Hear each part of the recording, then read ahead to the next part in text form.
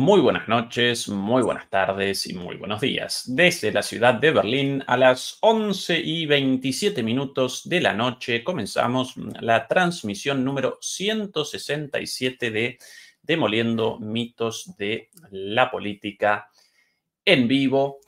Muchas gracias por acompañarnos, por ustedes y para ustedes realizamos nuestro trabajo. Recuerden ayudarnos con el like y con la difusión en la lucha contra la censura. En esta transmisión vamos a, en esta transmisión vamos a establecer el foco en el sinsentido de la incursión militar de Ucrania en el oblast ruso de Kursk.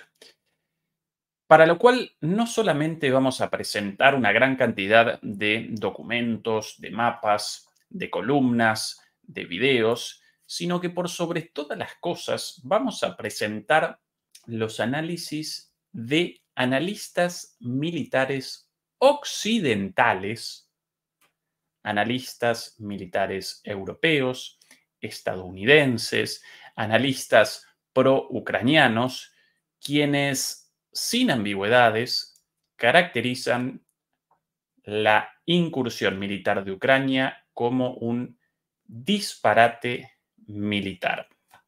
Quienes ayer nos acompañaron en la transmisión sobre este tema recordarán que realizamos una caracterización, realizamos una descripción en detalle de eh, esta incursión. Quien quiera una descripción efectivamente muy detallada. Puede em, retroceder al video del el día de ayer. En esta transmisión, por el contrario, después de presentar un breve resumen de las principales características, vamos a establecer las causas y vamos a desenmascarar el sinsentido último de esta operación militar.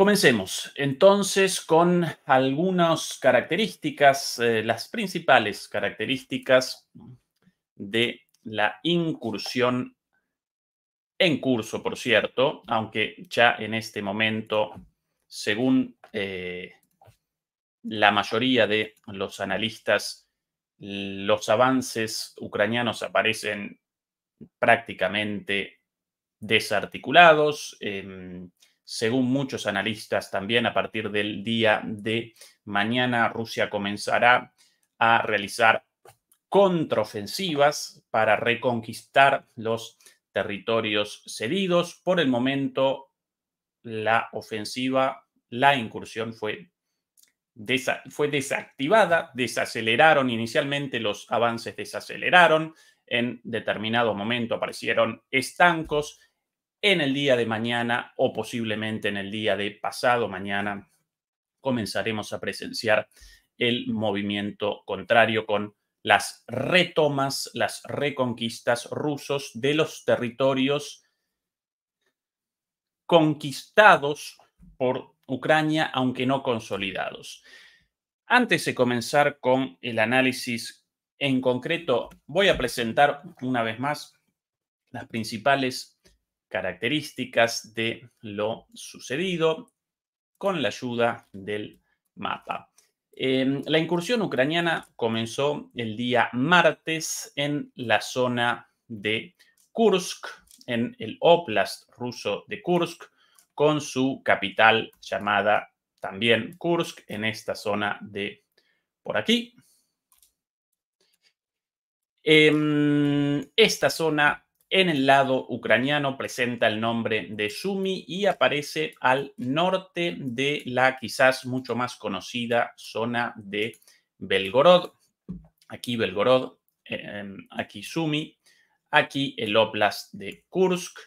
Recordarán todos ustedes seguramente la zona de Belgorod debido a los ataques em, ucranianos en territorio ruso desde hace bastante tiempo ya como así también la recordarán seguramente debido a la decisión de Rusia de comenzar en esta zona un frente adicional con el objetivo de generar la diversión de las tropas ucranianas hacia aquí para después acometer con más fuerza en la región del Donetsk, en la región del Donbass en su conjunto, Donetsk y Lugansk, eh, a partir de lo cual Rusia pudo realizar rompimientos, pudo realizar avances significativos y de hecho esos avances todavía aparecen en curso. El día de hoy Rusia realizó avances en el Donbass nuevamente. ¿sí? Bien, bueno, esta región actual de la incursión aparece ubicada más al norte. En esta zona, el martes por la madrugada comenzaron los primeros ataques con alrededor de mil soldados cruzando la frontera y otros miles a la espera del lado, en, territorio ucraniano, a la espera de la confirmación de los avances para acometer posteriormente em, el ingreso em, como reservas de manera de generar la explotación de los avances iniciales. Desde el principio la operación estuvo caracterizada por la sorpresa, la zona parecía mal defendida por lo inesperado de un ataque en una región aparentemente intrascendente, o quizás, mejor dicho, nada de aparente, seguramente intrascendente en términos tácticos, operacionales y estratégicos en esta, en esta guerra. Más allá de todo esto, sin dudas, la operación presentó una magnitud cualitativa y, cuantitativa mucho mayor a la de las incursiones de em, eh, abril o marzo de este año, no recuerdo, de marzo de este año de 2023 y del año pasado. Esas incursiones seguramente las recordarán, llevadas a cabo por em, combatientes rusos neonazis, grupos eh, de, combate irregulares, si bien formados y apertrechados por la OTAN, grupos em, de combatientes, eh, milicias, ese quizás el nombre correcto, milicias de rusos neonazis, eh, enfrentados naturalmente con el gobierno de Rusia. En aquel momento esas operaciones con una con apenas eh, un centenar o quizás dos o tres centenares de combatientes fueron capitaneadas por los servicios de inteligencia ucranianos. Por el contrario, en esta oportunidad no solamente participó más eh, gente, no solamente participaron más combatientes, sino que aparecieron mejor organizados, sin lugar a dudas, presentaron una organización muy superior y en esta oportunidad no solamente participaron estas milicias neonazis, sino que oficialmente participó, eh, participaron las Fuerzas Armadas ucranianas eh, de manera abierta y oficial y por ende las operaciones fueron capitaneadas por las Fuerzas Armadas ucranianas y no por los servicios de inteligencia ucranianos. En ese sentido, una vez más, esta operación presentó una mm, magnitud mucho mayor en lo cuantitativo y en lo cualitativo. Estuvo acompañada, por ejemplo, por apoyo de em, artillería, estuvo acompañada por apoyo de drones, tanto en el reconocimiento como en, en la función de ataque de los drones eh, kamikaze.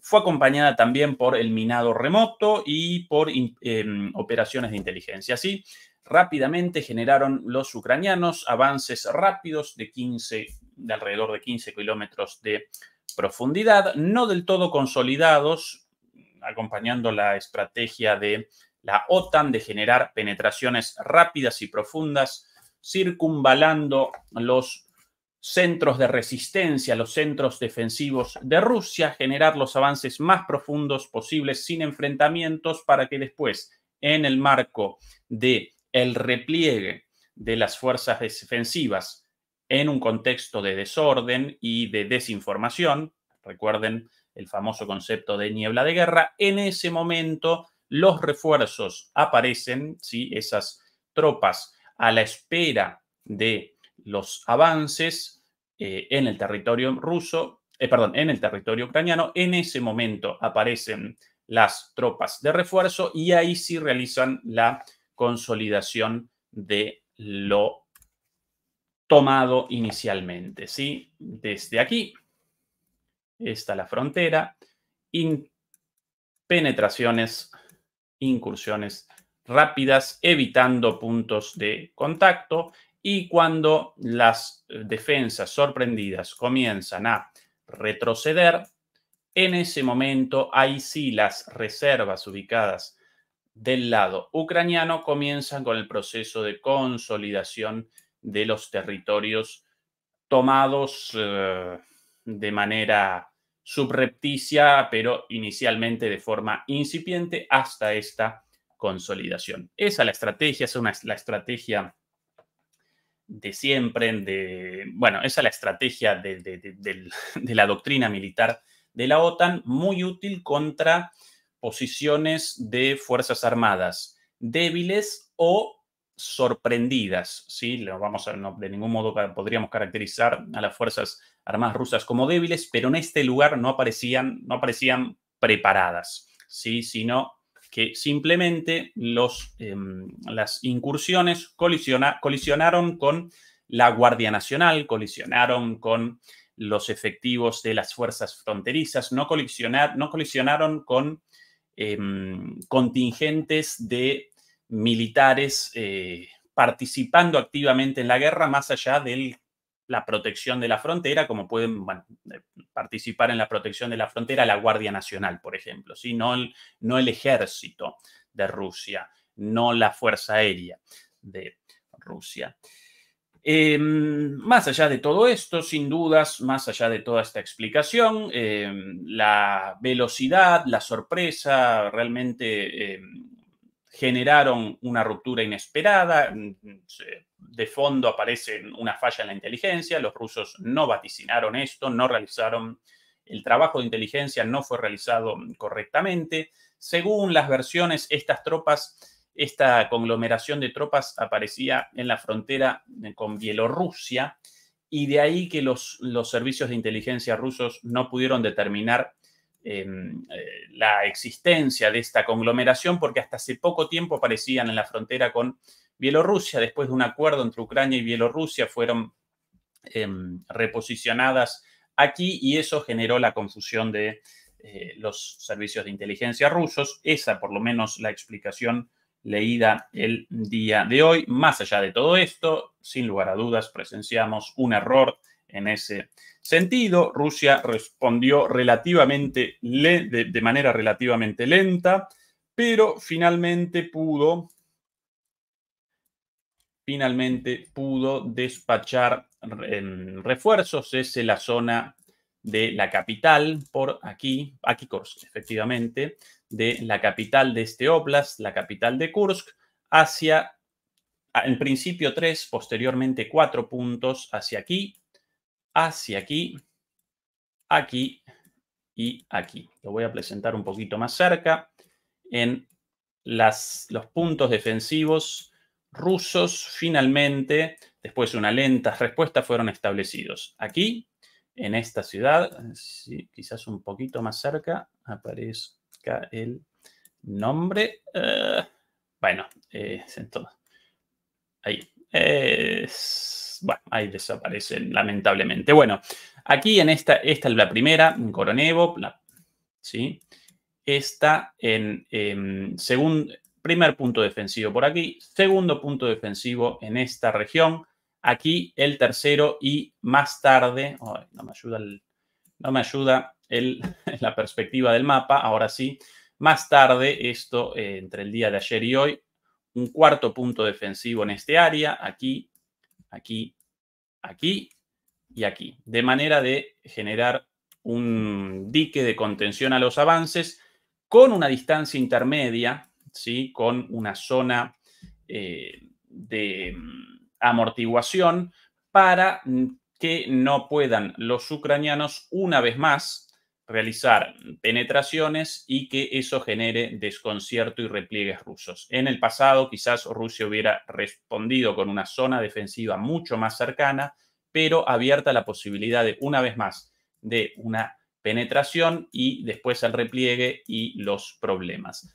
Por eso, esta vez, tras la ofensiva, eh, la contraofensiva ucraniana de mm, final de mm, otoño de 2022, la ofensiva en Kharkov, esa ofensiva exitosa, después de eso los rusos comenzaron a, o por lo menos realizar, realizaron el aprendizaje de establecer las líneas defensivas contra este tipo de operaciones un poco más atrás. Y esto por el momento aparece contenido, ya no están presentando avances los ucranianos, posiblemente, lo dicho, mañana o pasado mañana incluso, comiencen los retrocesos y los avances de Rusia. Es el resumen muy, pero muy rápido de lo sucedido hasta aquí. Quien quiera un análisis de lo sucedido en términos fácticos en detalle que retroceda al video del día de ayer, que retroceda a la transmisión del día de ayer, en la cual presentamos una descripción mucho más detallada de esto. En esta transmisión, por el contrario, queremos, como remachaba en el inicio, queremos establecer el foco en el sinsentido de esta operación a partir de las hipótesis relativas a las causas, ¿sí?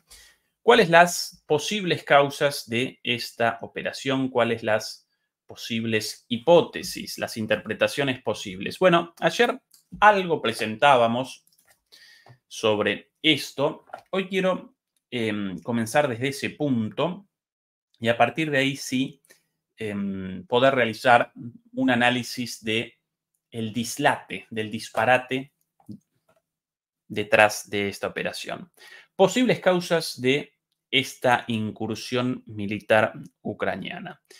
Cinco, cinco grandes hipótesis, ayer las presentamos. La primera de ellas, la búsqueda de una distracción de recursos rusos del Donbass, la búsqueda de generar un desgaste adicional, generar un frente adicional, de manera que Rusia deba abandonar la zona de mayor éxito, la zona del Donbass, en dirección a Pokrovsk, en dirección a, a para de esa forma desacelerar o incluso desactivar, establecer un límite a los avances en esa zona, en los cuales Rusia realiza avances cotidianos desde hace ya más de un mes. Bueno, básicamente generar un frente adicional para la distracción, para la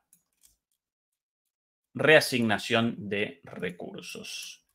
Ahora bien, esta hipótesis, ayer la presentábamos, esta hipótesis carece de fundamento por lo siguiente.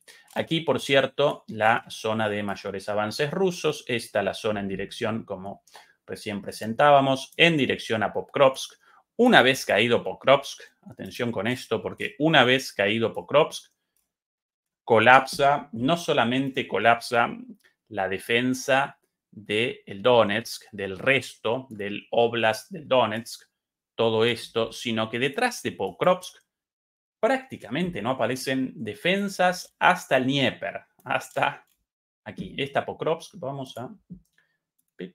Ahora sí, un poquito más de claridad en el mapa. ¿Aparece el mapita por ahí? Sí, confirmado. Bien. Eh, aquí Pokrovsk. Este es el centro logístico y de comando de prácticamente toda esta región. Esta es la región de Donetsk, todo esto acá, todas las defensas, todo el, el, comando y la logística concentradas aquí. Por eso la, las defensas alrededor de este lugar. Una vez caído esto, no solo va a colapsar defensivamente el Donetsk, sino que después de ahí hasta el Dnieper, prácticamente, perdón, que fea esta flecha, prácticamente no aparecen defensas, no aparece nada, aparece un territorio abierto sin grandes em, centros urbanos, sin defensas armadas, por eso la importancia, por eso lo fundamental de los combates en este área. Bueno, una vez más, ¿cuál es la interpretación inicial? la idea de que los ucranianos quisiesen, frente a los avances constantes de Rusia en esta región, aquí los nuevos avances del día de hoy, atención a los, la profundidad de los avances casi, casi ya en la línea de defensa exterior de Pokrovsk, ¿sí? Nada más y nada menos. Por ahí y naturalmente por aquí también en la zona de esta New York, la llamada New York aquí, en dirección hacia Toresk, Toresk ubicada más o menos, Toresk ubicada, si no recuerdo mal, por esta zona de aquí también, ¿sí? La toma de esto y a partir de ahí la expansión de ese frente. Bueno, mm, recojo la idea de esta primera hipótesis. Generar en esta zona un nuevo frente para que los rusos deban redireccionar, ¿sí? despachar recursos desde su zona más exitosa, su, el campo de batalla, el, el, escenario en el cual realizan avances y el más peligroso para Ucrania, hacia este lugar. Y quienes presentan esta hipótesis recuerdan lo hecho precisamente por Rusia hace algunos meses, cuando Rusia, con el mismo objetivo, generó un frente adicional en el norte, aquí. Lo recuerdan, ¿no? Esto antes de que comience mm, el verano, aquí en el hemisferio norte, en ese momento, muchos analistas occidentales presentaban una inminente ofensiva rusa contra Kharkov. Kharkov, esta ciudad ubicada aquí, la segunda ciudad más importante de aquí. Todo esto es Kharkov, la segunda eh, eh, ciudad más importante de Rusia. Nosotros aquí con eh, muchísima más, con mucha humildad, mucha precaución, pero con muchísimos más fundamentos, respondíamos. Difícilmente quiera Rusia comenzar una mm, super invasión en, esta, en este área, lo cual muy probablemente frente a una ciudad de dos millones de habitantes, tarde o temprano va a generar eh, una situación de estancamiento, de dificultades logísticas, para que si con los pequeños avances en la guerra de desgaste Rusia parece muy cómoda, ¿qué podrá querer Rusia? Respondíamos nosotros en aquel entonces, tanto yo como Fernando Moragón, como Juan, Antonio Aguilar y todo el equipo de DMP Geopolítica, Rusia muy posiblemente quiera generar un nuevo frente aquí para que a partir de ese frente adicional, las defensas en la zona más importante, en esta zona de aquí, deban abandonar este, este, este, escenario y deban em, desembarcar o deban ser redireccionadas, ¿sí? deban abandonar este área para participar en este otro escenario. Bueno, eso efectivamente lo sucedido y eso presentan ahora como argumento los analistas eh, a favor de esta hipótesis relativa ahora no a este, a este frente abierto por los rusos, sino a la incursión de esta semana. Ahora bien, ¿cuál es el problema? ¿Por qué esta interpretación de desgaste y un nuevo frente ucraniano aquí para la reasignación de recursos rusos? ¿Por qué carece de fundamento? Porque un, eh, las Fuerzas Armadas de un país, ¿sí? un, combatiente, una fuerza en, en un conflicto, puede establecer un nuevo frente de batalla con el objetivo de generar mayor desgaste si establecer ese nuevo frente no connota para sí misma la pérdida de recursos, ¿sí?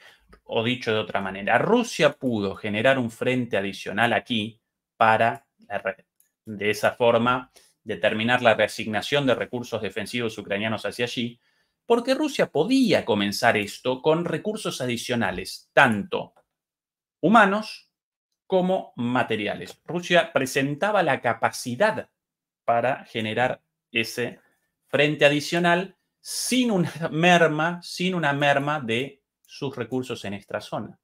En el caso de Ucrania, Ucrania no puede generar esto aquí con miles de combatientes, miles de soldados, como así también una gran cantidad de recursos materiales en lo, concerniente a tanques, vehículos blindados, obuses, eh, drones, eh, incluso, eh, bueno, incluso la, participación de algunos recursos de, fuerza, de la Fuerza Aérea, de los, de los remanentes de la Fuerza Aérea ucraniana. Ucrania no puede generar esto aquí sin una reasignación de recursos fuertemente necesitados y escasos en esta zona. Por eso esta idea utilizada efectivamente por Rusia, en este caso aparece carente de fundamentos. En este caso carece de, de sentido. Ucrania podría generar un frente adicional si presentase recursos adicionales. No los presenta. Por ende, todo recurso asignado acá, si acá un más uno, ¿sí? De recursos, acá un menos uno para Ucrania. Esto del más uno, menos uno, como sencillamente una cuantificación hipotética de un recurso puesto allá igual a un recurso sacado aquí. ¿Sí? Bien. Esa la primera, la primera eh, hipótesis. La segunda hipótesis responde a la idea de que Ucrania, a partir de esta em, eh, em, incursión, mm, bueno, en realidad querría generar una posición de fuerza para la negociación. Así lo presentaba Podoliak de alguna manera. Ayer lo presentábamos nosotros también con sus, con sus palabras. Em, esto, esto aparece en la lógica de que pronto van a comenzar negociaciones, entonces los ucranianos quieren una posición de fuerza y con la toma de estos territorios, los rusos, eh, a cambio de la, de, la, de, la entrega, de la devolución de estos territorios a, Rusia, van a parecer más dispuestos a realizar concesiones en los territorios ya tomados en el resto de el territorio ucraniano. Una vez más lo presentamos en el mapa. Y perdón por la utilización eh, del mapa permanentemente, pero nos ayuda mucho esto, a mí por lo menos a mí me ayuda mucho, quizás esto un, un, eh, desvío profesional eh, como profesor, bueno, siempre ayuda mucho la pizarra, el pizarrón, los mapas, más aún en la enseñanza de las relaciones internacionales, de la geopolítica, los mapas y todo eso ayuda mucho a, de alguna manera, materializar las ideas, incluso didácticamente a mí me ayuda. También por eso la insistencia en los mapas, perdón si aparezco un poco denso, si aparezco eh, muy recurrente con esto. Pero bueno, ¿cuál entonces esta segunda hipótesis? Básicamente, con esto tomado aquí, bueno, los rusos en la negociación van a aparecer dispuestos a la sesión de esto aquí. De lo contrario, no van a querer retroceder nada. Bien. Una vez más, esta hipótesis carece de fundamentos. ¿Por qué? Porque en, un, en otro caso, en otra situación, bueno, sí, claro, eh, la toma de algo deseable por el adversario, sí, puede generar una posición de fuerza en la negociación. Pero en este caso no. ¿Por qué? Porque Rusia de ningún modo comenzaría negociaciones con Ucrania en una situación en la cual territorios rusos de la vieja Rusia, vamos a llamarla, territorios rusos de toda la vida, nunca asignados a ningún otro país tras la disolución de la Unión Soviética, territorios rusos reconocidos por todo el mundo como rusos. Bueno, si esos territorios aparecen bajo el control de otro Estado, Rusia nunca va a comenzar negociaciones, de ningún modo. ¿sí? Eh, por eso, esta hipótesis aquí de la misma forma carece de fundamento. Tercer, tercer em, elemento, tercera hipótesis sobre las posibles causas. Y acompáñenme lentamente, estoy recapitulando las hipótesis para este, esta incursión, las posibles causas, las posibles interpretaciones relativas a las causas. Ayer las presentamos, hoy las presentamos con las razones por las cuales algunas de ellas representan interpretaciones erróneas, carecen de fundamentos, algunas de otras no. Y después de esto sí vamos a presentar a los analistas occidentales el plato fuerte de esta transmisión con el reconocimiento del dislate de esta operación. Por cierto, muchas gracias, Waldo Quijada. Eh, hola, Ezequiel, buenos análisis, felicitaciones, muchas gracias. Y muchísimas gracias, Julián Son, Soncini o Soncini, tal vez en italiano, eh, por el super eh, sticker. Muchas gracias, Julián. Bueno, segunda, perdón, tercera interpretación la búsqueda de terror político, ¿sí? una operación destinada al terror político en Rusia, a generalizar el terror en la población, eh, evacuaciones masivas, movimientos de personas, caos disgregación, oposición al gobierno y a partir de ahí, si no, un, si no el derrocamiento del gobierno de Putin, por lo menos eh, disturbios internos y una situación política de inestabilidad para el gobierno ruso. Em, esta hipótesis sobre el porqué de la incursión, una, vez más, la incursión destinada a generar terror político en Rusia, bueno, ya desde el inicio de este conflicto aparecía bastante forzada, ¿sí? carecía de fundamentos eh, sólidos. Hoy día, después de casi tres años de conflicto,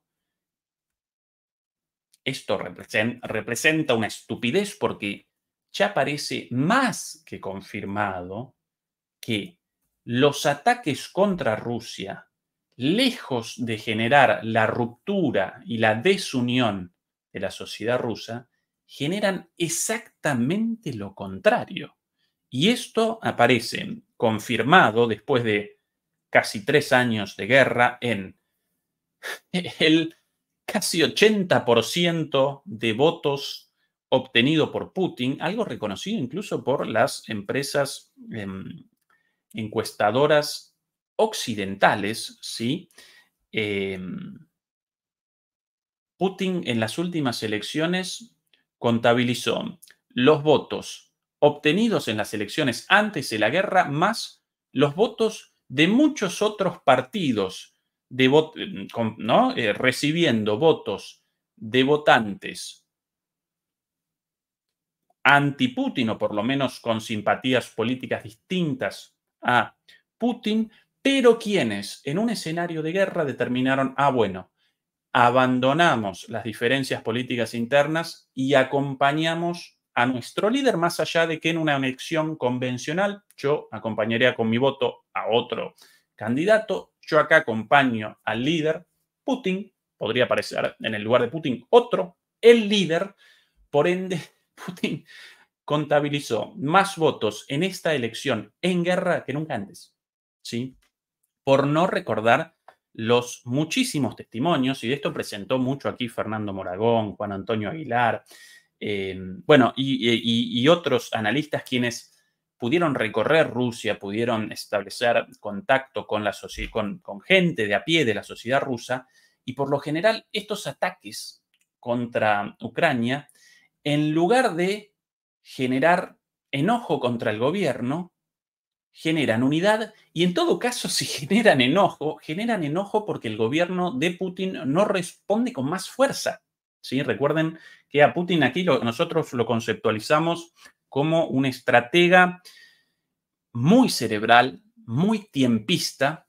Él no va a acometer un curso de acción apresurado si eso puede connotar un riesgo innecesario. Todo a su tiempo. Claro, y eso genera muchas veces el enojo de sectores ubicados eh, en posiciones eh, mucho más, eh, mucho más belicosas que el propio Putin, el sector nacionalista duro, el sector ultranacionalista, sectores, bueno, mucho, mucho más duros que Putin, una vez más, recuerden, dentro de Putin, dentro de Putin, dentro de Rusia, Putin aparece como un, moderado. Putin representa un moderado en la política rusa. Esto, eh, aquí en, Occidente, eh, los analistas, por ese fulgor, esa obsesión antirrusa, esa rusofobia, eh, exudando en cada poro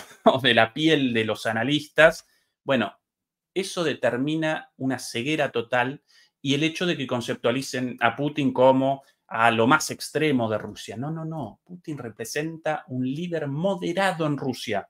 Por eso, en todo caso, si estas incursiones generan enojo, no generan enojo por em, porque quieran el derrocamiento del gobierno, ni mucho menos, sino porque quieren una respuesta más fuerte del gobierno frente a estos ataques. Así que esta tercera hipótesis relativa a em, la idea de que, ah, con esta incursión quieren generalizar el terror político, después de casi tres años de guerra y pruebas por doquier de que estas situaciones, como los ataques contra el puente en, el estrecho, en el estrecho de Kerch, el puente de Crimea, como los ataques en territorio ruso, como los atentados, obviamente patrocinados por Occidente, también por los servicios de inteligencia británicos, por lo menos, sino también estadounidenses.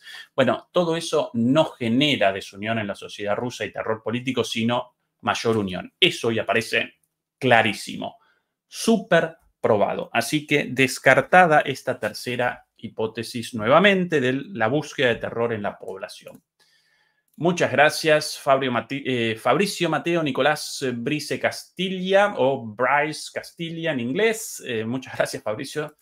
Em, y Marcos Aurelio Rangel Galván, Seki Kipkan, es eh, sábado y el cuerpo lo sabe, saca las cheves, no está, oh, sí, un vinito con, con Moragón. Bueno, em, sí, no, no, no. Acá, chelitas por acá, difícil porque yo los fines de semana el alcohol para mí aparece prohibido porque no quiero aparecer acá atontado eh, de ninguna manera, ni, ni mucho menos eh, bajo los efectos del alcohol, pero tampoco quiero aún ni una copita de vino, uno aparece después un poquito cansino, ¿sí? Para mí, el alcohol, lamentablemente, querido Marcos Aurelio, los fines de semana, intocable, intocable eh, por ustedes. Es el esfuerzo por eh, presentar esto con la mayor lucidez posible a las, eh, aquí, 12 de la noche ya, ¿no? 12 y 4 minutos, ¿sí?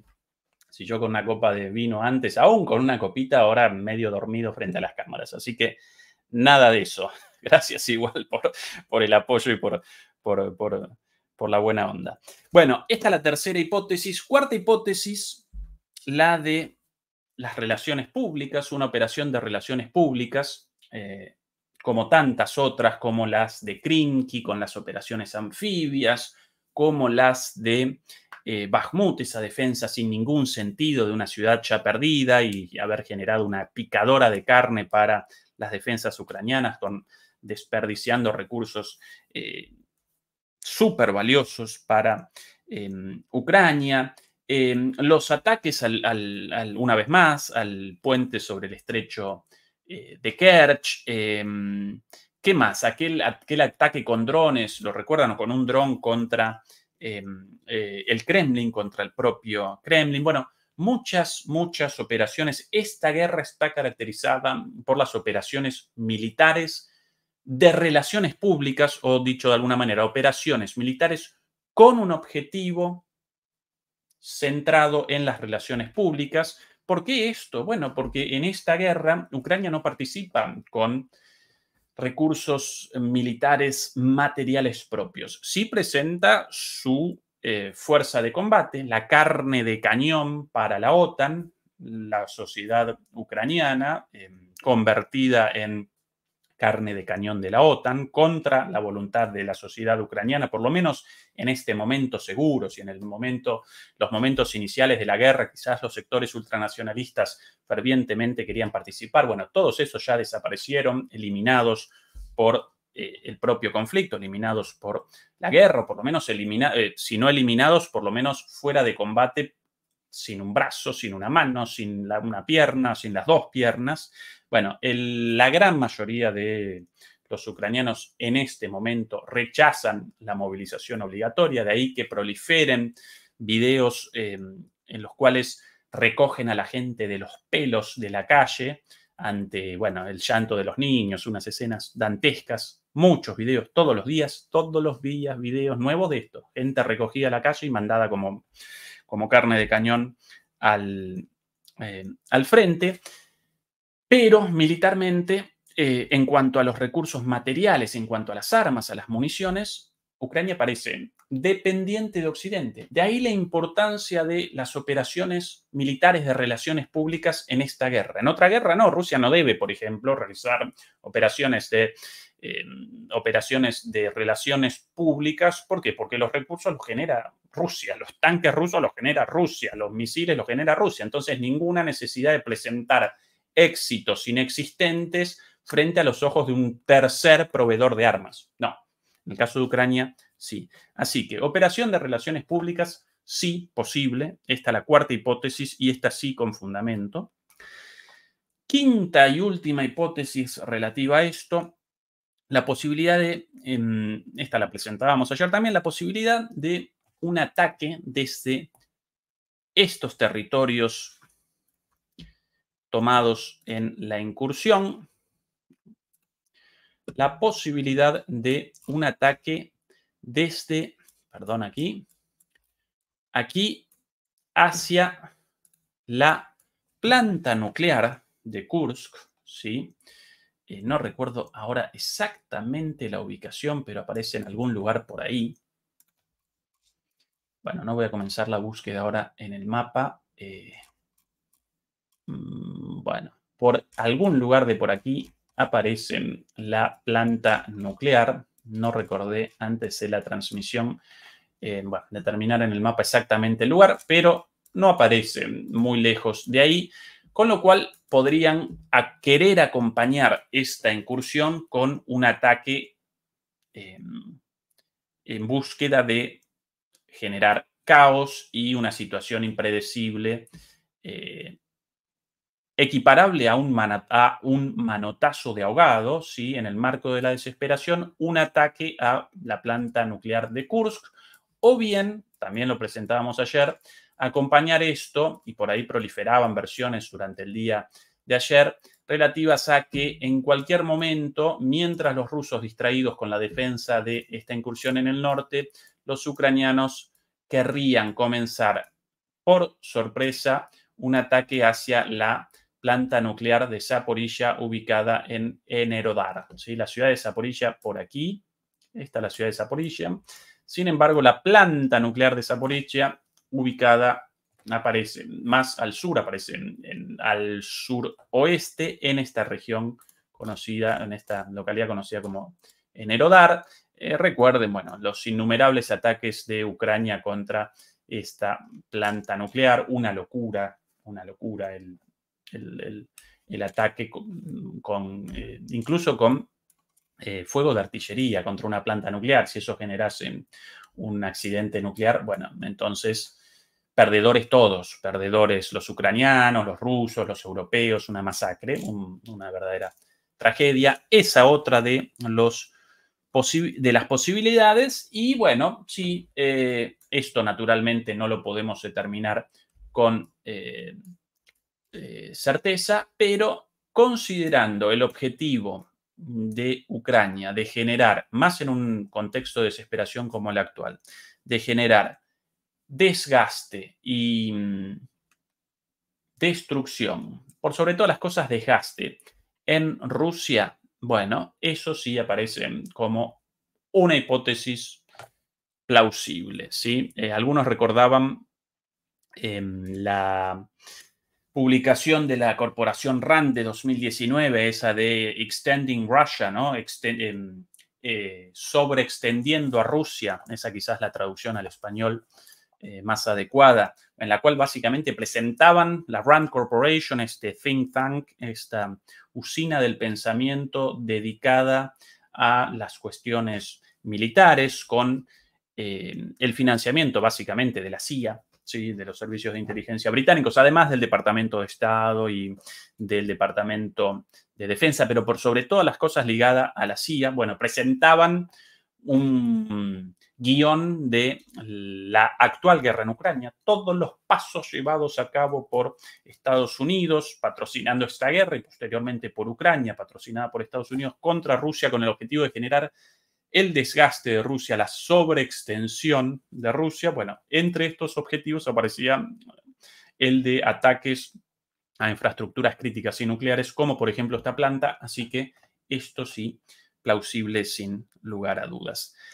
Más allá de todas estas hipótesis, las primeras tres, recuerden la de la distracción de fuerzas del Donbass, la de las negociaciones y la del terror en la población, esas descartadas, y las últimas dos, la de em, las relaciones públicas y el ataque a la planta nuclear, estas sí posibles, más allá de todas estas.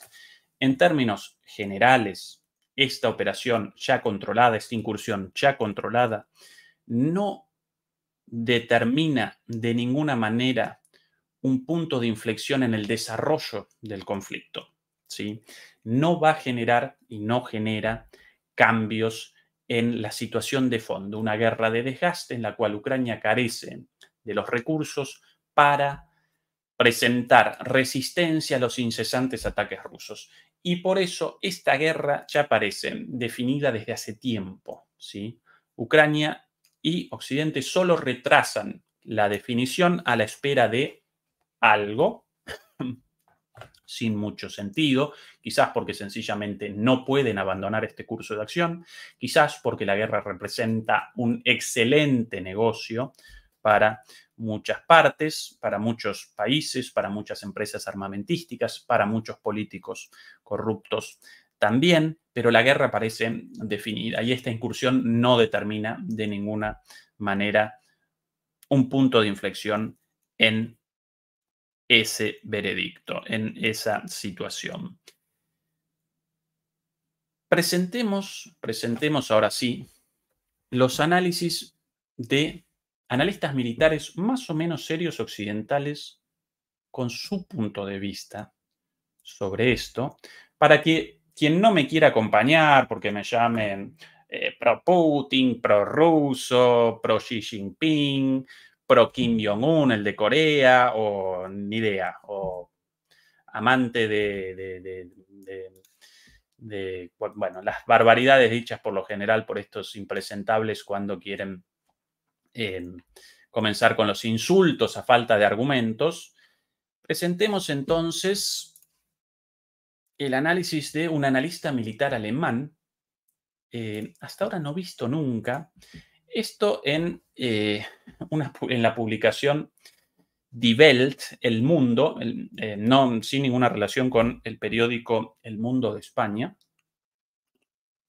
Este, un periódico alemán especializado en economía del grupo Axel Springer, el grupo más grande de medios de em, Alemania, dueño del periódico Bild, el periódico sensacionalista de mayor tirada en Alemania, en Europa y, si no recuerdo mal, en Occidente, solo superado por los periódicos chinos.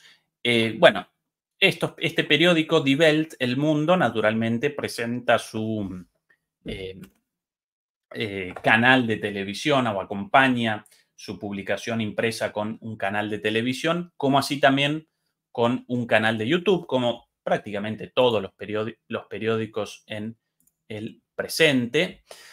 Eh, y en el marco de em, el análisis de esta noticia, el día de ayer llamaron a eh, un ex, a un coronel retirado, experto militar, conocido como Wolfgang Richter, Wolfgang Richter, Richter el apellido, pero la traducción eh, literal de la palabra rista, básicamente juez. En español también a veces la palabra juez como apellido. Recuerdo un político argentino llamado Luis Juez, un impresentable, por cierto, pero bueno.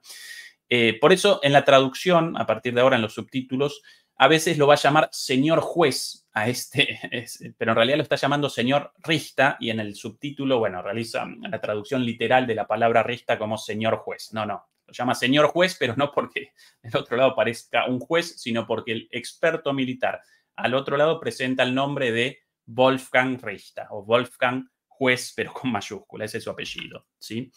Bueno, atención a las palabras de este señor. Eh, cuando comenzó a responder con seriedad, inmediatamente determinaron la interrupción de la nota, pero vamos a presentarlo.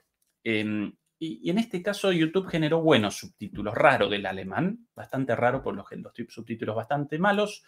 Sí comete errores em, el, subtitulado, la, inteligencia artificial de, YouTube. Yo em, realizo una pausa y, y ayudo con la aclaración. Fragen wir jetzt nach bei Wolfgang Richter, Oberst äh, AD und eben. Momento, no quiero mi imagen encima de los subtítulos. Un segundito. Ahora mejor. Ahora sí, perdón.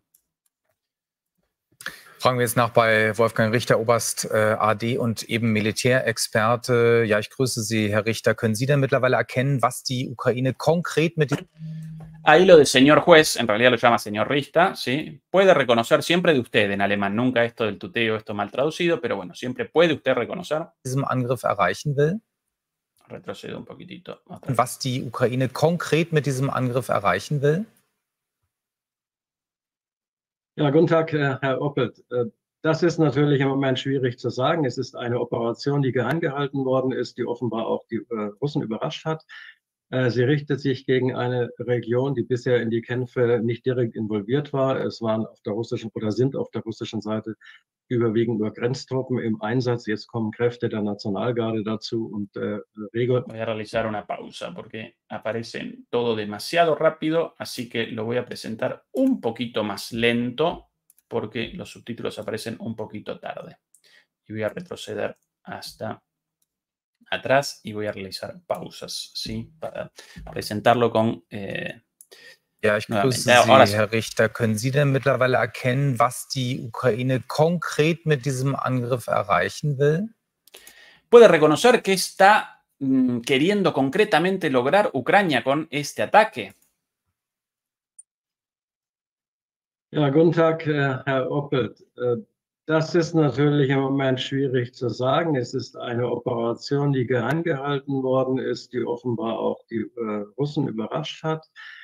Äh, es difícil decir, es difícil decir, ayudo con la traducción porque además no presenta exactamente la traducción literal de lo dicho. Es difícil decir que quieren lograr los ucranianos con esto. Ha sido una operación Eh, una operación secreta y ha sido mantenida en secreto también de los rusos. Ha sorprendido a los rusos. Todo esto es cierto. Hasta acá. Äh, sie richtet sich gegen eine Region, die bisher in die Kämpfe nicht direkt involviert war. Es waren auf der se dirigió hacia una región que hasta el momento no estuvo envuelta en la guerra. Esto también dicho, esto de alguna manera como si en una, como si en, en una pelea entre dos boxeadores a los golpes de puño, de repente uno realizara un pasito al costado y despachar un escupitajo contra el entrenador de, de su adversario, ¿no? Y bueno, el entrenador seguramente mm, eh, desarmado, eh, apareciese poco preparado para el escupitajo, seguramente recibido el escupitajo, eso va a generar mucho ruido, mucho enojo, pero no va a determinar de ninguna manera la pelea entre los dos boxeadores, ¿sí? Un escupitaco. Bueno, esa, esa, eso es lo que, la, esa quizás la, la, la, analogía más, más recién ocurrida a la situación, em, la analogía más, más plausible o más parecida a, a la situación actual. Un poquito más de esto. überwiegend nur Grenztruppen im Einsatz. Jetzt kommen Kräfte der Nationalgarde dazu und äh, von den regulären Kräften natürlich Luftangriffe und Artillerie. Bueno, un ataque contra una zona eh, fuera del conflicto, cuidada por fuerzas regulares y, Guardia Nacional, ¿sí? por las fuerzas de la frontera, pero no por las fuerzas regulares de, la, de, de, de las Fuerzas Armadas rusas, Ahora sí, en la respuesta rusa comienzan los ataques aéreos y de artillería propia de las fuerzas regulares rusas, pero hasta ahora no defendida por fuerzas regulares rusas. Aber wir müssen mal die Größenordnung uns anschauen. Es handelt sich um maximal 1000 Mann, also etwa 600 äh, als Vorauskräfte, die dann auf russisches Gebiet eingedrungen sind. 200 bis 400 stehen noch dahinter. Das sind maximal zwei Bataillone. Um das mal zu vergleichen mit der Sommeroffensive, da waren zwölf Brigaden, die im sind. Jetzt sehen wir nicht mal eine halbe Brigade. Was soll das? Bueno, tremendo esto. Eh, bueno, sí, la sorpresa efectiva, pero debemos eh, establecer el foco en la magnitud, debemos recordar la magnitud. Participaron alrededor de 600 soldados cruzando y otros 400 a la espera. En mi análisis, para mí un poquito más, mil en la primera eh, incursión y algunos miles detrás. Em, pero bueno, lo mismo. Em, comparado con, y él recuerda la ofensiva de verano del año pasado, comparado con em, la ofensiva de aquel entonces, en la cual participaron alrededor de 12 brigadas decenas de miles de hombres, alrededor de 90.000 personas, 90.000 soldados en la gran ofensiva ucraniana mm, destruida por las defensas rusas. Bueno, acá no participa ni media brigada, ni, ni, mil, ni, ni 500 o, o, ni mil personas. ¿sí? Para mí sí participan un poquito más de mil personas, según el análisis de este señor, pero lo cierto y lo correcto de su análisis, el hecho de que comparado con la ofensiva de antes, bueno, esto aparece como una pequeña incursión nada más. Entonces, por eso lo de... Brigaden, die im Einsatz sind, jetzt sehen wir nicht mal eine halbe Brigade. Was soll das also? Por eso lo de was soll das, ¿no? Lo de qué, es, qué carajo es esto, ¿no? ¿Qué, qué, qué significa? Bueno, ¿qué, se, ¿qué supone que debe ser así? Bueno, es una mala traducción, ¿no? ¿Qué, qué significa esto? Esa es la traducción de was soll das. Äh, un poquito más. Ähm, erstens ist es erstaunlich, dass die Ukrainer äh, so einen Angriff durchführen, der keinen operativen, tieferen Einbruch erzielen wird. Das ergibt sich schon aus der Kräfte, aus dem Kräfte.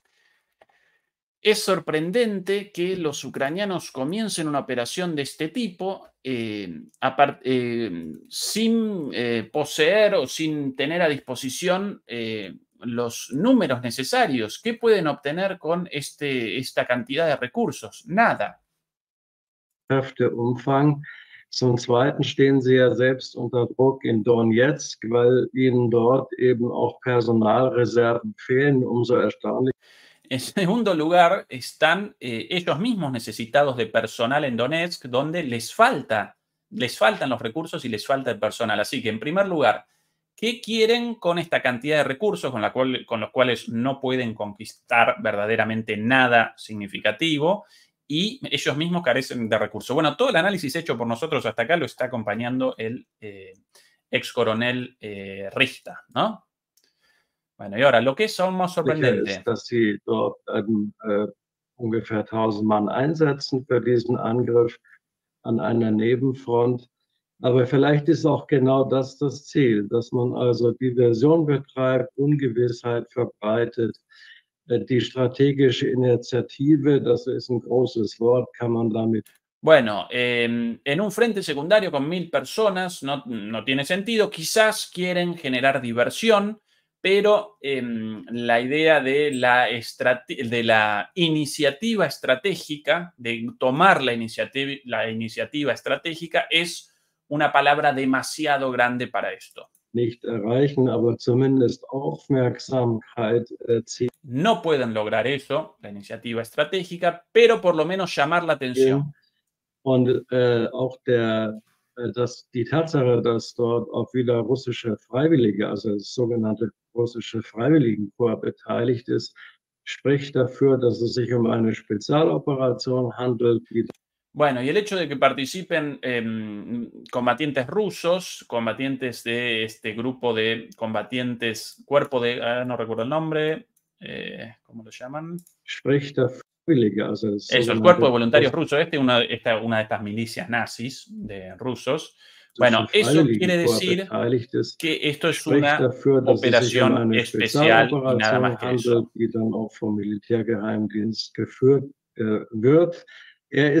Posiblemente una operación llevada a cabo por la inteligencia militar. Ist ja zuständig für strategische Überraschungen, sei es durch Drohnenangriffe gegen die Schwarzmeerflotte. Inteligencia militar que es eh, eh, responsable de, la, de, las operaciones por sorpresa, como por ejemplo con los drones en, eh, contra la flota rusa del Mar Negro. In der Tiefe Russlands. Und eben jetzt en, auch für diese Überschreitung. O en, el, en la retaguardia rusa, esto en referencia a las operaciones eh, terroristas, ¿sí? En Rusia. Bueno, en este caso también. Die Grenze, es ist nicht die erste. En la denn wir hatten das ja schon im Raum Kharkiv in den letzten äh, Monaten gesehen und Russland hat. Bueno, eso lo mismo, pero en la frontera, y esto no sería la primera vez porque ya tuvimos en la zona de Kharkov en los últimos meses de, de operaciones de este tipo. Darauf reagiert mit einer Pufferzone bei Kharkiv. Die mhm. äh, Ukrainer riskieren jetzt, dass die Russen etwas Ähnliches hier auch machen.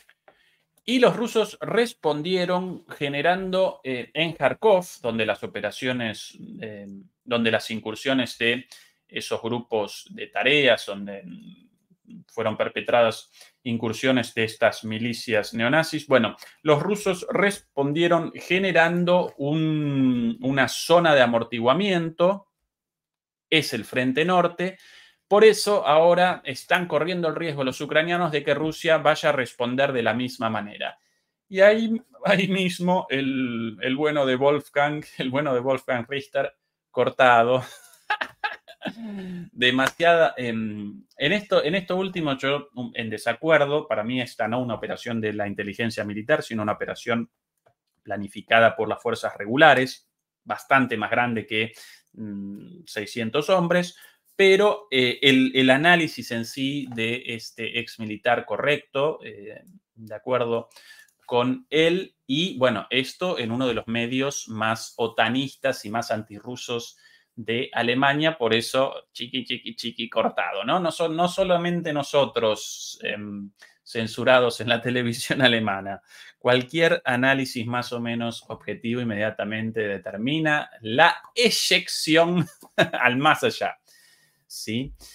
Bueno, em, algunas cositas más sobre em, el sinsentido de esta operación a partir de ahora en eh, columnas, columnas publicadas, por ejemplo, nada más y nada menos que por eh, el New York Times, por ejemplo. Comencemos con una de ellas. Eh, esta de aquí, New York Times, Ucrania lanza un inusual ataque terrestre transfronterizo contra Rusia.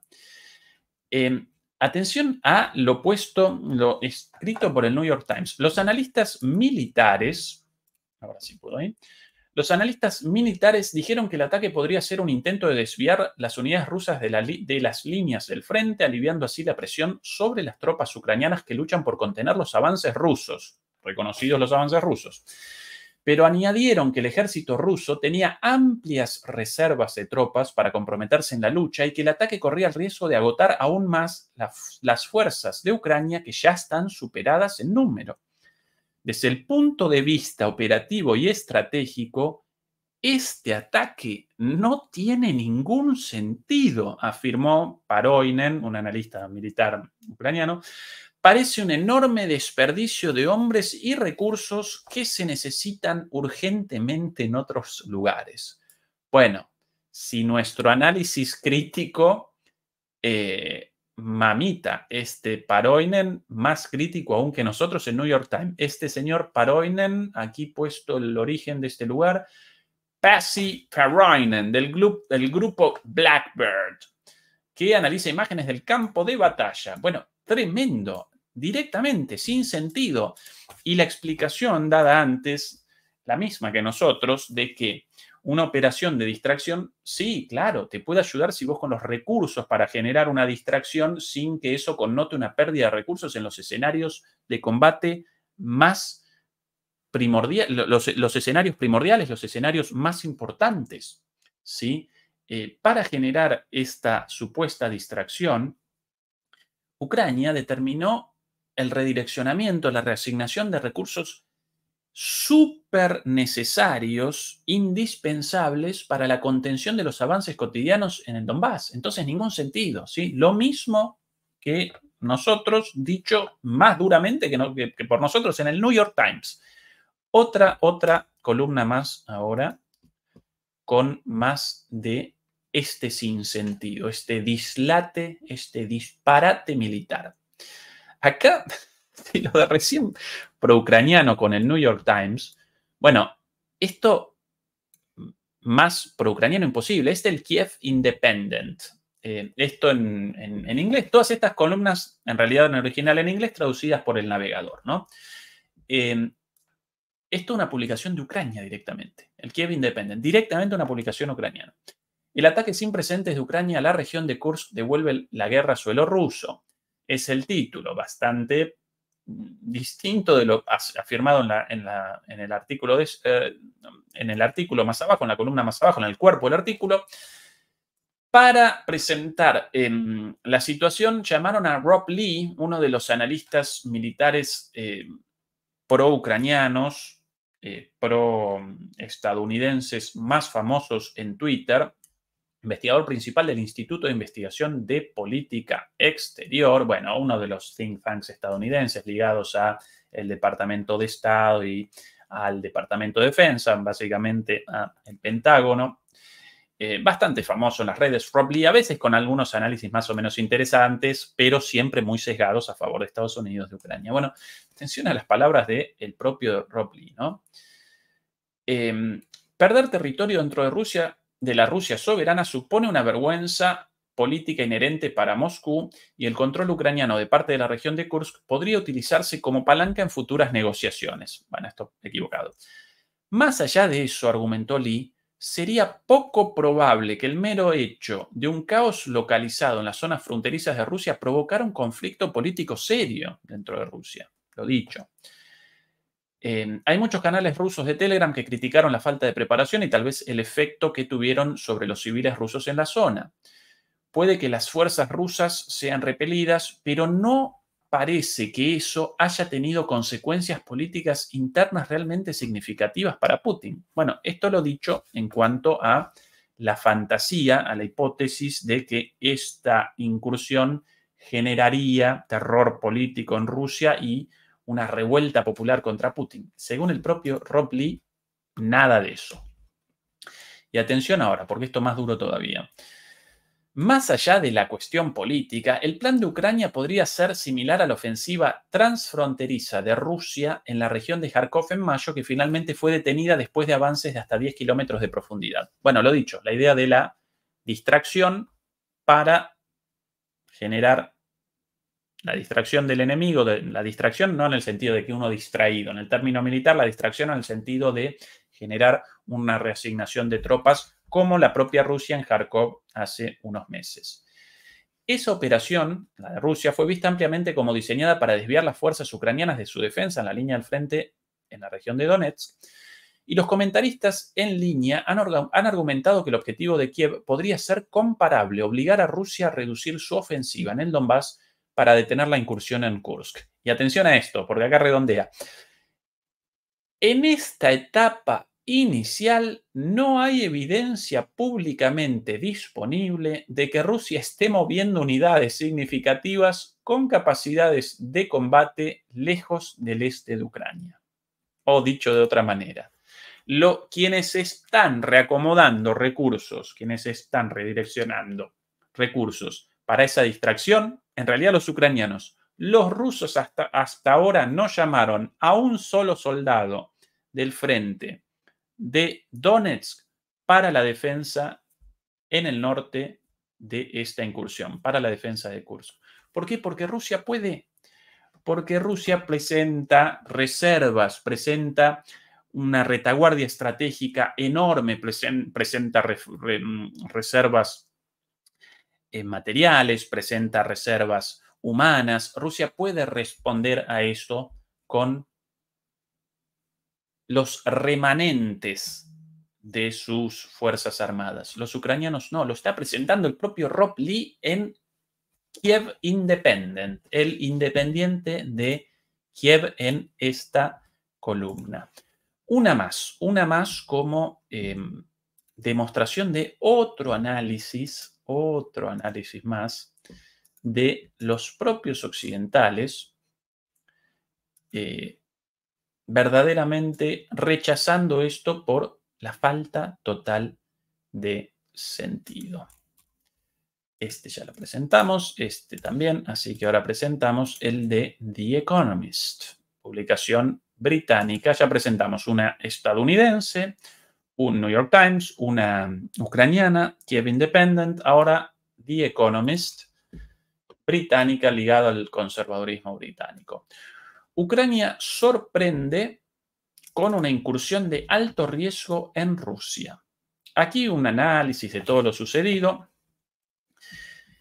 Em, y esta es la conclusión. Las incursiones transfronterizas anteriores estuvieron en su mayoría a cargo de la inteligencia militar ucraniana. En esta ocasión, la operación está más estrechamente asociada con el muy criticado nuevo comandante en jefe de Ucrania, Oleksandr Sirsky, y por primera vez se han sumado unidades del ejército regular a estas incursiones. Claro, lo dicho, antes solamente las milicias neonazis, ahora fuerzas regulares. Con tanto en juego, la carrera del general Sirsky bien podría depender de ello. Los informes de los hospitales ucranianos en primera línea sugieren que las cifras de víctimas ya están aumentando. La gente todavía puede preguntarse si fue prudente dedicar tantas tropas a la incursión mientras las líneas de frente críticas son escasas. La respuesta dependerá del éxito de la operación. Bueno, lo mismo, lo mismo que dicho aquí hace un rato. ¿Sí? El dato interesante acá, eh, la posibilidad de que Sirsky haya querido participar en esto o incluso lo haya motorizado como una forma de búsqueda, como una forma desesperada de eh, no abandonar su cargo, ¿no? De que no lo, lo, despachen de una patada en el culete pronto porque no lo quiere nadie. Recuerden que lo acomodaron ahí como reemplazo de Sirsky cuando em, Zelensky, muy, muy mal en las encuestas, em, aparecía amenazado políticamente antes de la fecha de las elecciones finalmente no realizadas, pero el comandante em, en jefe de las Fuerzas Armadas eh, en aquel entonces aparecía cada vez más popular por lo tanto, determinó em, su salida Zelensky con ese objetivo, ¿sí? desactivarlo eh, políticamente a Salushny, em, al comandante jefe Salushny, y estableció a Sirsky, a quien no lo quería nadie antes y menos lo quieren ahora por la falta de éxitos naturalmente también, y quizás con el objetivo de su permanencia, Sirsky haya patrocinado esto con especial ahínco. Pero más allá de este dato adicional, el análisis es el mismo que el nuestro. Em, bueno, después comienza em, a presentar las mismas hipótesis que nosotros para finalmente redondear. Un objetivo más factible podría ser la creación de una zona de amortiguación embarazosa en la frontera similar a los intentos de Rusia de crear una cercana en Kharkov durante los últimos tres meses. Incluso podría convertirse en una moneda a cambio en alguna negociación futura. Esto falso, ya explicado, pero bueno, e, esa es una de las hipótesis. Rusia estaba tratando de preparar una posición sólida, dice la fuente de inteligencia, pero ahora están jodidos porque no pueden proteger su propio territorio. Cualquier nueva línea ucraniana en territorio ruso sería extremadamente difícil de mantener pero representaría una bofetada muy pública en la cara de Vladimir Putin. Que, claro, que, interesado Putin en, responder a estas, provocaciones. Y para una nación que anhelaba buenas noticias durante gran parte del año pasado, eso ya sería algo. Bueno, acá la confirmación de que con esto quieren esta bofetada pública en la cara de Putin, una operación de recursos em, de relaciones públicas. ¿sí? Esta la propia confirmación de The Economist, publicación pro-estadounidense, pro-británica, pro-inglesa, pro-ucraniana, anti-rusa, de manera rabiosa. Bien, ellos mismos también con el reconocimiento de todo esto.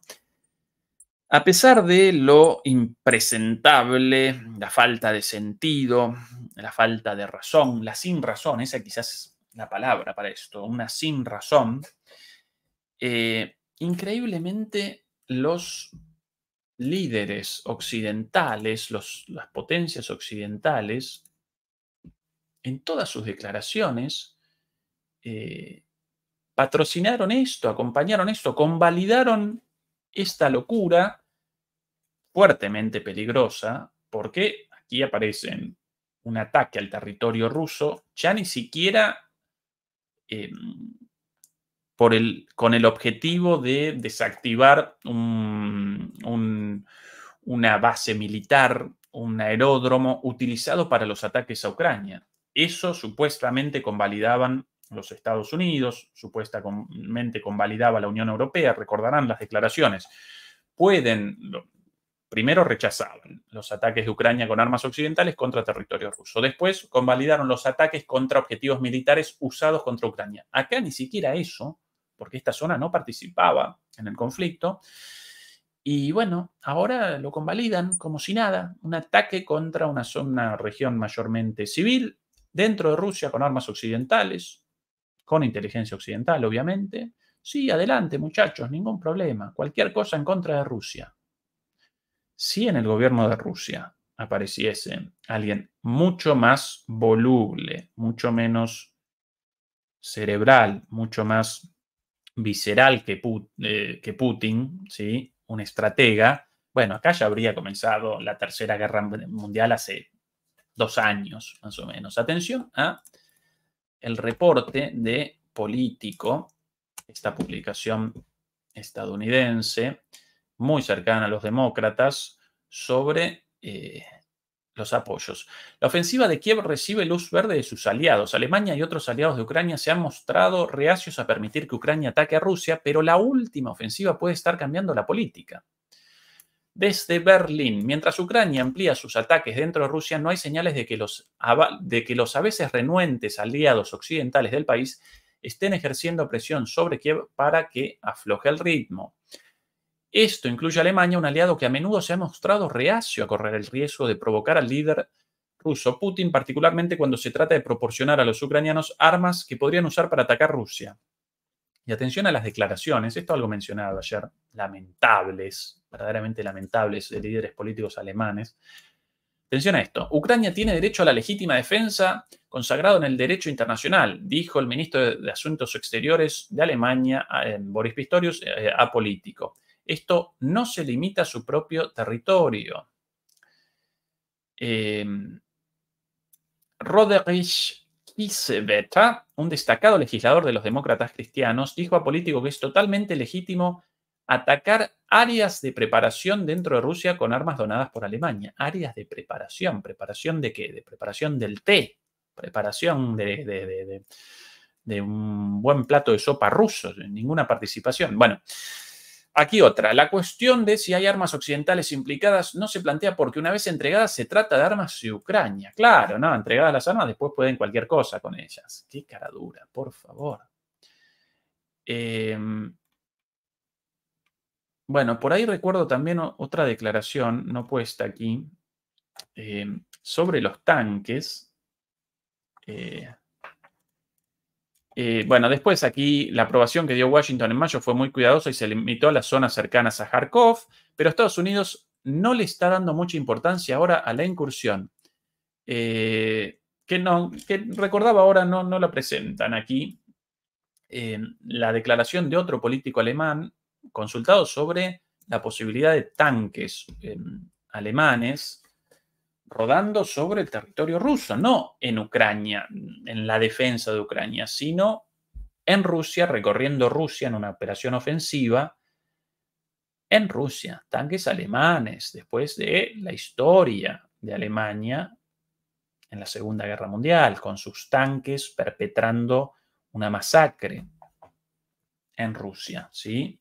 Eh, recuerden, eh, la victoria de la, Unión Soviética contra la Alemania nazi determinó la derrota del nazismo, eh, mucho más que mm, las operaciones militares de los aliados en el frente occidental, muchísimo menores y muchísimo eh, posteriores, ¿sí? ya sobre el final de la guerra, cuando la guerra ya parecía más o menos definida. La gran batalla de o las grandes batallas de la Segunda Guerra Mundial aparecieron en Kursk, eh, bueno, en Rusia, en, el territorio, perdón, en el territorio de la, de la, Unión Soviética, en Stalingrado, etcétera, etcétera, ¿no? Con millones de muertos. Y todo eso con los tanques alemanes, que ahora respondan, ah, no, bueno, que los tanques alemanes actuales recorran el territorio ruso en operaciones ofensivas. No, cuestión de los ucranianos.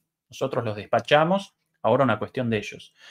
Bueno, eso eh, no solamente aparece tremendamente ignorante de la historia, sino que además connota un cinismo, un cinismo verdaderamente deleznable. Líderes políticos con declaraciones, alemanes con declaraciones de este tipo, me acometen las pasiones, la sangre hirviendo con estos impresentables. Pero bueno, esa es la clase dirigente en Alemania, la clase dirigente en Europa, en Occidente, lamentablemente es el material humano a disposición hasta que los ciudadanos europeos, eh, ausentes lamentablemente en esta situación por pasividad, la gran mayoría, no todos, pero la gran mayoría de, los, de, los, de, los, de los ciudadanos de a pie, de las personas de a pie de Europa, sufriendo por esta guerra también, afectados por esta guerra, no participan tan activamente como deberían en el rechazo a esta barbaridad, eh, hasta que los europeos y los estadounidenses no determinen un cambio político de esta gente, con esta gente, con estas clases dirigentes, difícil, difícil el arribo a buen puerto, difícil, difícil. Demoledores y demoledoras, mm, recuerden por favor ayudarnos con el like, sencillamente el clic en el pulgar arriba, eso nos ayuda muchísimo contra la incesante censura y esto de verdad, la censura en esta plataforma a través de la difusión lograda con el like nos ayudan muchísimo, sencillamente esa es la única forma de retribución requerida por nosotros que nos ayuden a poder perseverar en nuestro trabajo de análisis crítico de la geopolítica y la geoeconomía global contra la censura, contra la desmonetización de los videos, a veces contra la eliminación de videos. Para eso nos ayudan los likes y naturalmente también el compartir, obviamente, y si nos quieren ayudar a través de em, PayPal o de una membresía eh, paga, buenísimo. Nosotros agradecidos de corazón, sino sencillamente el cliccito en el pulgar arriba. Para eso, para nosotros eso súper, súper importante. El día de hoy en nuestro canal hermano, también acompaña nuestro canal, eh, por favor, nuestro canal hermano de MP Geopolítica. Em, eh, Juan Antonio Aguilar presentó su programa espectacular. Mañana em, Mañana Adrián Fernández a las 5 de la tarde hora europea. Y mañana por la noche nosotros aquí, como todos los domingos, con Fernando Moragón. Así que, por favor, por favor, eh, acompáñennos por ahí también. Muchas gracias una vez más a Marco, Marco, Aurelio Rangel Galván. Este no lo presentamos, este comentario de hace un rato. La incursión otanera Kursk solo es para forzar a Orbán a ponerse de rodillas ante Bruselas, tomar Sumi por unos días y ayudar a Kamala versus Trump. Bueno, una hipótesis atendible, sin dudas, una, perspectiva distinta. Muchas gracias por el apoyo, Marcos. Em, demoledores y demoledoras, muchas gracias por acompañarnos. A Beatriz Pulido, nuestra, la demoledora número uno, nuestra moderadora de siempre. Mil gracias a em, todos ustedes. Un beso enorme y hasta el día de mañana.